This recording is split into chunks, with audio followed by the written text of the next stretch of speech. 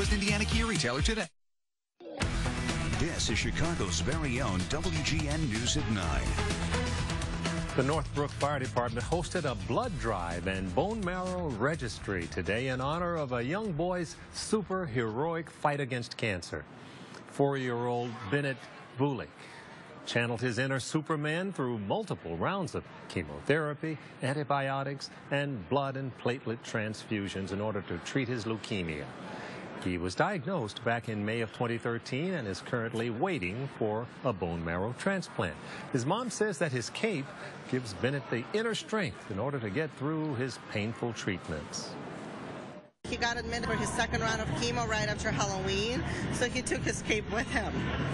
And uh, he was just wearing it down the halls. He had really, really good um, he had a good round of chemo. He was doing really well, so he didn't have to be in isolation. They don't train at all.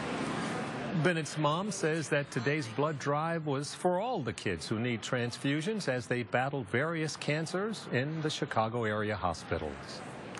The third installment